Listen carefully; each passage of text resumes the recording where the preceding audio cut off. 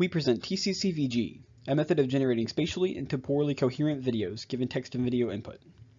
Current methods in text-to-video generation produce jittery videos with abrupt movements. We attempt to address this problem. Our method works by encoding a sequence of input frames in a text prompt and passing these embeddings into a transformer to auto-regressively predict the next embedding. This embedding is then denoised using diffusion and decoded to obtain a prediction for the next video frame.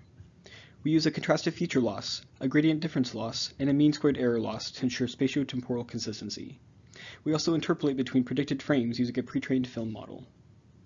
We train and evaluate our method on the UCF 101 dataset, conditioning on four previous frames and a text input. Our model achieves a Frechet video distance which outperforms the baseline, TGANv2, which was also trained and evaluated on UCF 101. We also outperform a naive baseline. See the outputs of our model on the bouncy ball dataset and the KITTI dataset. Predicted frames are outlined in red.